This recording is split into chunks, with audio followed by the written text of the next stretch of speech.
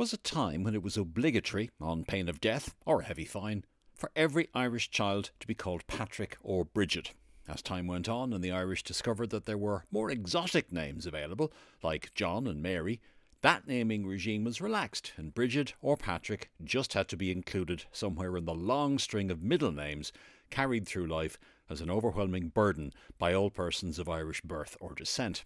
Nowadays, the names Patrick and Bridget have almost entirely disappeared. The odd, sentimental soul might insist on them as a child's confirmation name, but Paddies and Biddies are a dying breed. In the case of Bridget, a name popularised by an early Christian saint, that may be entirely appropriate. Bridget, it transpires, could have wormed her way into our affections and loyalties under false pretences. She may have been a pagan goddess. Now, to many of you, that would give her a genuine ratings boost, and begs the question is a pagan god or goddess of higher standing than a mere Christian saint?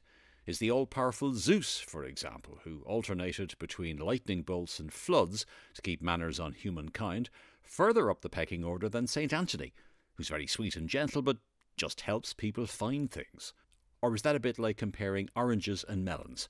Or is it lemons? Anyway, let's get back to Bridget, by whom I mean, of course, Bridget of Kildare, founder of a number of convents in Ireland who died in 525 at the grand old age of 72, not Bridget of Sweden, a saint with no less than three different feast days, one in July, two in October. Obviously, that rare phenomenon, a needy Scandinavian. There are some curmudgeonly Irish historians who actually think that the woman we now know as Saint Bridget might well have been chief druid at a pagan temple to the goddess of the same name.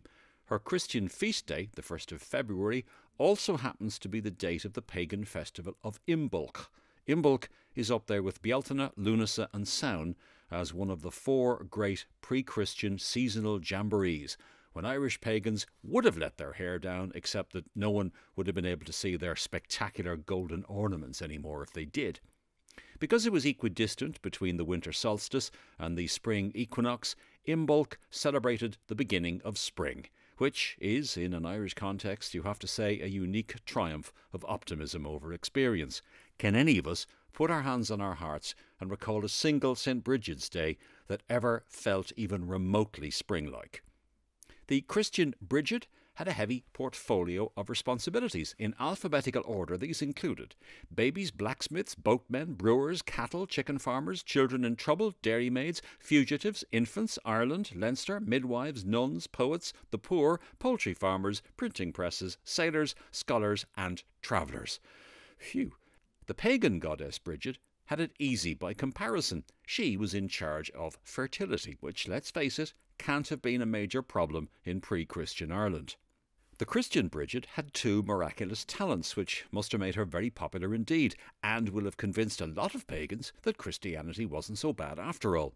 She could control the rain and wind, always a good trick on the rainy, windy periphery of Europe, and, with even more mass appeal, she could turn water into wine.